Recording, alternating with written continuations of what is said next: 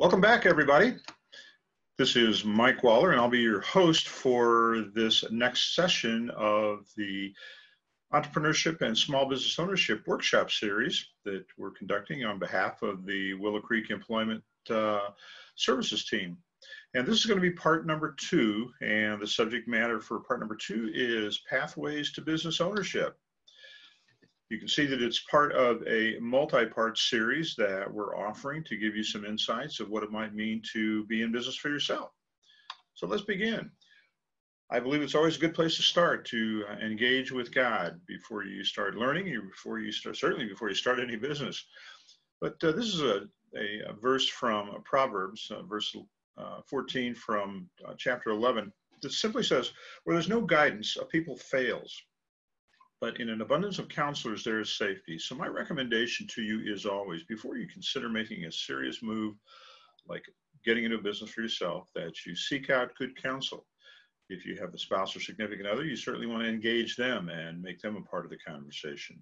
But in addition to that, you're going to want to have other resources to tap into that will give you insights and guidance, such as a business coach, an attorney, a CPA, and so on. Now, as I mentioned in the first uh, session, I uh, so that you may feel a bit of a fire hose effect with uh, all the information I'm going to put uh, before you. And it's really designed to get you to think about this very seriously because it is a very serious subject. And I'm again going to say to you, look for nuggets, gold nuggets or chicken nuggets. You get to decide which are which based upon where your frame of reference and frame of thought is. So Having said that, one of the things I brought out in the first session was an important place that you have to start is to understand what you are trying to accomplish by being in business for yourself. And I created this little acrostic that I refer to as ILWE, because I think there are at least four dimensions to consideration of how the business would fit into your life in a very holistic way. Certainly income, but then there's the lifestyle element of it, creation of wealth, and then the establishment of equity in the business so that at some point in time, if and when you do decide to sell, that uh, you have created an asset that, uh, again, contributes to your wealth uh, and gives you, a, again, an asset that uh, can be sold, hopefully, for a significantly higher price than you might have invested in the business. I want to tell you a story. This is an individual by the name of Jeff Miller. Jeff is the owner of a business called Divine Signs. Now, I'm going to share this story with you to give you perspective. Jeff is an individual that I have known for decades now. When I started my business back in 2003, Jeff was actually my very first client. And Jeff was a refugee from corporate America, you might say. He was an executive with a, firm called Sierra Wireless, and he was an individual who traveled all over the world consistently. He uh, headed up their OEM sales organization. And Jeff had a story that's very similar to mine. He traveled almost continuously. And he had made a decision in 2002, uh, late 2002, early 2003, to essentially move on to do something else. He knew what he didn't want to do, but he really didn't know what he did want to do in terms of a business. So he was looking at multi alternatives, as some of you may also be. He was considering job uh, opportunities, but he really had had the desire to do something on his own. So Jeff and I got connected. We had known one another at that point in time for about 10 years, and this goes back, this was uh, oh, roughly February of 2003. And uh, Jeff was uh, interested in exploring some business ownership possibilities. So I worked with Jeff and we kind of figured out what was his ILWE, got a sense of what his income expectations were, got a really good perspective on his lifestyle desires and the desire to create wealth and equity through some kind of a business. We narrowed the field to probably a dozen different components that were important to Jeff, but we probably focused on four key ones. One, he wanted to do a business in the community of Schaumburg, which is where he had lived for many, many years, and he thought it'd be great to be involved in the business community of Schaumburg. Second, he wanted to do the business with his wife, Michelle. Um, Michelle, by choice, had been the stay at home mom as Jeff traveled uh, around the world for his businesses uh, that he had worked for in corporate America. And uh, they thought that well, it'd be great to be able to do a business together, be able to work in a business together. Thirdly, he wanted to have his kids engaged in the business so that, number one, he could help them see whether or not there were some possibilities in the world of business that might make sense whenever they went on to do their college education. Because at this point in time, Jeff's kids were, well, age ranges were from nine to uh, 17 years old, all lined up on the runway, getting ready to uh, to go off to uh, college before very long. Fourth thing, though, which is probably one of the more important things to him, was he really wanted to have time to engage in his kids' after school activities. Uh, some of his kids, his youngest, was, as a matter of fact, was very uh, active in sports, and Jeff thought, gee, it'd be great to be able to spend more time with Michael involved in uh, his supporting his sports activities, uh, coaching, managing, sponsoring with jerseys with the name of his business on the back. Jeff and I worked together and uh, got a good, again, frame of reference, what he was looking for. I saw possibilities for him. And I went out and I, I dug out some ideas and some particulars and presented them to Jeff. And I said, Jeff, there's some businesses I'd like you to take a look at. Probably showed him four different opportunities, I believe, if my memory serves me correct. And three of the opportunities certainly appealed to the visceral side of who Jeff was as a person. At the heart of who he was was a sales general management type of an individual. I showed him a commercial sign making idea, and the response was classic. He was sitting across the desk from me with his wife, Michelle, and I presented this idea, and it was a very stoic response. He did everything but roll his eyes and elbow his wife and say, Boy, that's a dumb idea. Where did he come up with that one? And I could read his body language. I simply said to him, Jeff, I can tell that this idea doesn't really uh, light your fire. But I said, here's what I want you to do. Trust me for a while. I want you to look into the business because it's not a franchise, but it's kind of similar to a franchise. They essentially help you to get established in this business that you don't know anything about. Because the mechanics of it, you'll learn very, very quickly. But you have skill sets that might make really good sense for you, and the opportunity to fulfill a majority of the um, items on your ILWE checklist uh, might be there. So take a look at it. He agreed to follow my advice, did so, and lo and behold, what happens? Uh, approximately um, six to eight weeks later, he ends up buying into this concept and establishing himself in the business of commercial sign making, uh, with uh, the brand name of Divine Signs. And there's a whole story behind the name Divine Signs. It has to do with the fact that Jeff is a survivor of an airplane crash in which 113 people died and over 160 people survived. He's one of a small group of a dozen that walked off of a, a monstrous well, fireball explosion when the plane crashed. That, uh, well, he's one of those survivors that has a great story to tell that has to do with why they named it Divine Signs. Today, uh, he's in the business uh, for over 17 years now. Incredibly successful, seven figure plus uh, revenue business that he's done incredibly well with. I share that story with you for this reason. Don't always think you have to go into something that you're truly passionate about or something that is related to what your career has been up to that point in time because if you've learned other skills you might find those skills can be applied in a lot of different businesses. But you have to make sure that the business can fulfill more than less of your ILWE expectations. Otherwise, you're going to find yourself in disappointment. So there's my story. So what are the options? Well, as we did explain in part one, we really kind of explored the idea of whether or not business ownership is really the right pathway for you. But if you've concluded that you really want to explore it, you're probably going to find that there are probably three different pathways that you can consider, potentially take. You can create and birth your own business.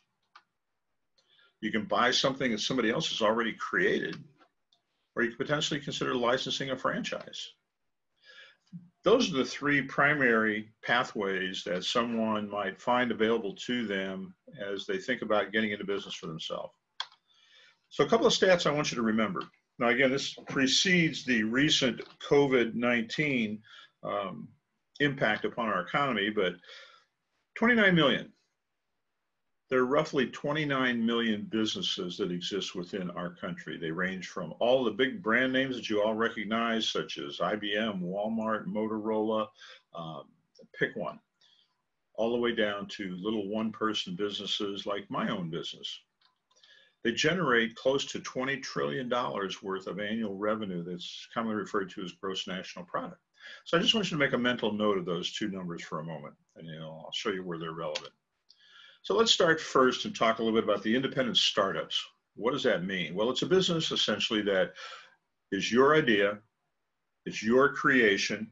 You get to plan it out, you get to brand it however you want to. And oh, by the way, you also have to create all the systems that will support that business. Now, when I refer to the term systems, you might wonder, well, what does he mean? Well, if you have a desire to have employees, there's an HR system that goes behind that that makes sure that you're in compliance with government regulations as it relates to hiring and firing of people.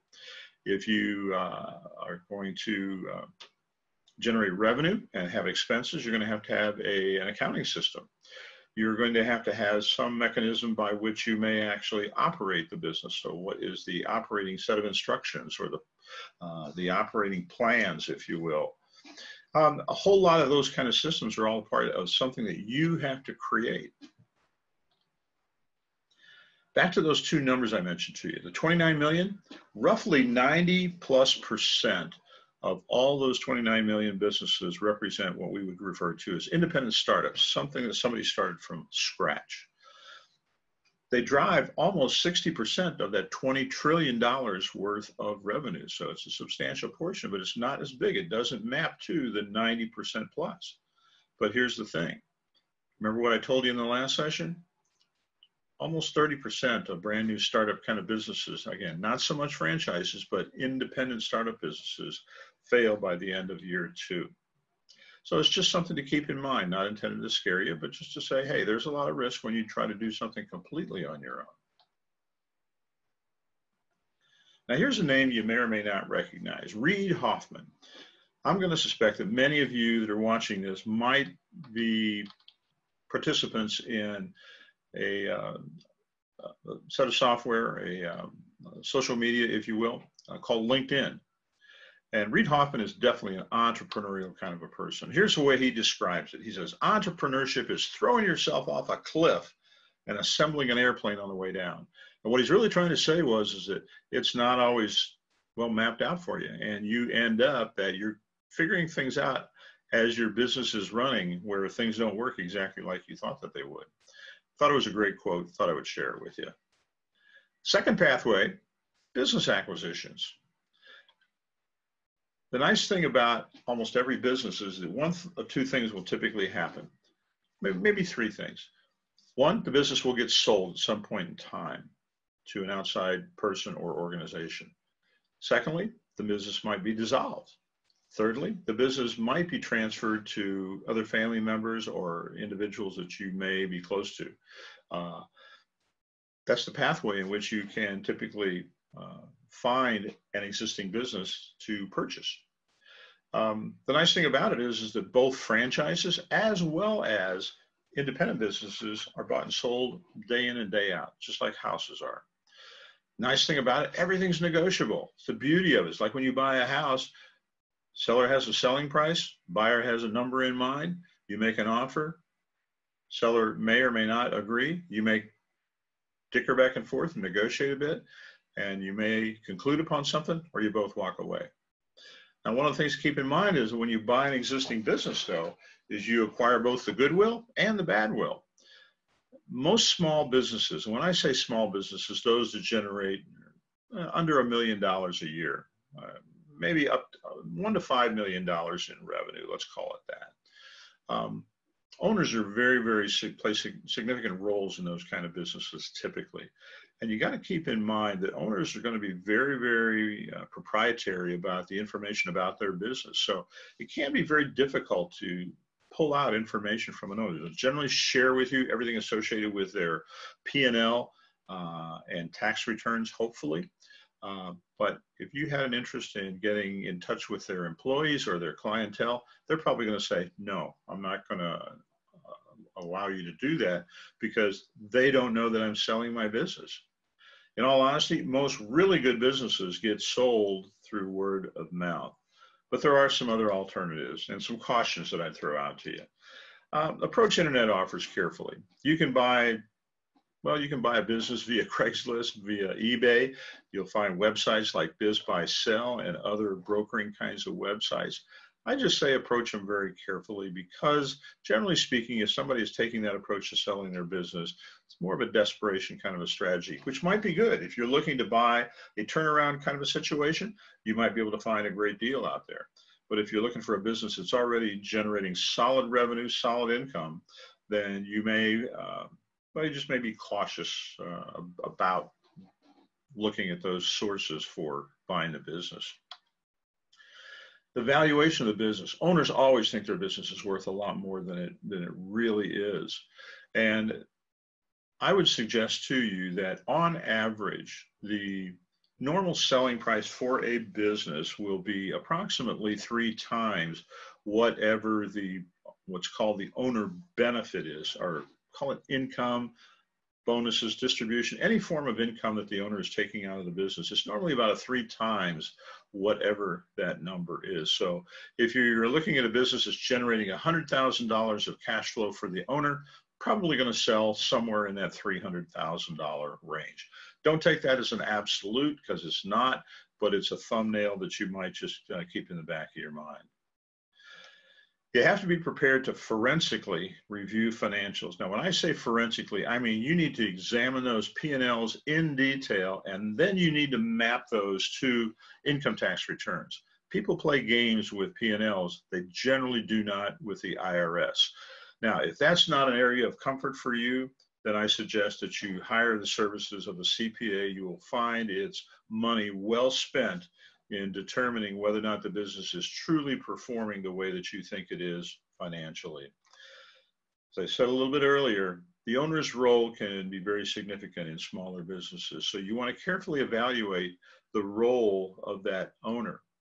Uh, I have a good friend whom I help to uh, sell their business. Again, I'm not a broker and I do not do the brokering services, but I connected a buyer and a seller as I referred to in my last session, uh, I refer to as the eHarmony matchmaker uh, for someone considering business ownership. Put these two people together, and it turned out that the buyer that I had introduced to the seller wanted to take a very forensic uh, view of the business, not only just the financials, but he wanted to talk to the uh, clientele and he wanted to talk to the employees. And again, this individual said, No, I can't let you do that because if I do, I might jeopardize the true value of what my business is worth.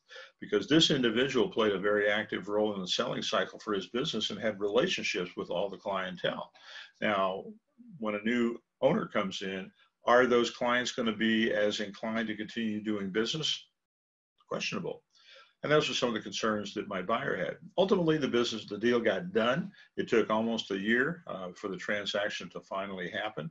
But again, you have to be very uh, astute to observing what's the owner's role in the business and how critical is it to it, and can you, as a new owner, uh, replicate it. Third pathway is franchises. Now, there's a few brand names over to the left. You might recognize a few of them. Obviously, McDonald's, everybody uh, knows who McDonald's is. CertaPro is a painting company, the largest painting franchise in the, in the uh, country. SERVPRO, if you've ever had water damage or fire damage of any sorts, you may have had SERVPRO come in and do the cleanup work. If you're a guy, you may have gotten your hair cut at a sport clips. The Entrepreneur Source, my business, never would have thought of it as being a franchise because it's kind of a unique concept. But here's the deal with franchises Franchises are what I would call a business in a box. What they do is they give you a brand name, they give you all the systems and everything related to that brand and allow you to leverage their system because they have proved proven that it works. And that is the value of a franchise is that you're well, it's a win-win relationship for most everybody because the franchisor is looking to grow their business. You are looking to grow your business as a small business owner. You partner together in that relationship. They give you support. They give you uh, a, defined marketing system, a strategy. In today's age, one of the things that can be really, really uh, difficult to get your arms around is this thing called digital marketing. Most business today businesses today operate on the premise of using digital marketing to promote their business if that's not an area of familiarity or comfort for you uh, again franchise might make sense because they've put that package together for you and help you to actualize it the concept of franchising is all built around local ownership Franchisors are not successful unless you are successful, and nobody knows the local market better than you likely do. Now, back to some numbers. The 29 million, roughly 5%, uh, 5 to 8% of the business units uh, fall into this category of franchises. They drive uh, better than 40% of the dollar volume created, uh, that, that uh, $20 trillion 40% plus is driven through franchising. You might be surprised to know that one out of every seven people that are employed are employed in a franchise food chain of some sorts. There are thousands and thousands of franchises out there. They represent pretty much every industry you can think of, all sorts of models, home-based, vehicle-based, a retail, business to business, a blend, lots of different variety to them. Investment, anywhere from eh, twenty, thirty thousand dollars, all the way up to multi-millions. If you had ambitions of getting into a Culver's, for example, probably upwards of four million dollars if you uh, uh, lived in the Chicago area, which is where uh, we're located. So those are three different methodologies and approaches to how you can get into business to yourself. You got to get back to this key question that I asked you in, in part one. Are you truly an entrepreneur or are you a better manager? Now, there's a overlap between those two typically. Entrepreneurs are risk takers. They uh, are idea people. They're visionary kind of individuals. Other people are just much better at managing people and processes. So I would suggest as you think about which of these options makes sense, it probably makes sense to look at all of them. But if you're a risk taker, hey, you're probably not going to be happy unless you're doing your own thing. However, if you're more of a risk avoider, buying something that exists already, buying into a, a, franchise. And again, you never own a franchise, you only license the rights to use their system. And so you just have to ask yourself, where am I on that spectrum? Risk taker, risk avoider. So the next session, part three of this series, is going to focus on what are some of the keys to success for establishing your business. I suggest you take a break and hopefully you'll come back for part three and we'll share some additional insights with you. Thanks so much for listening.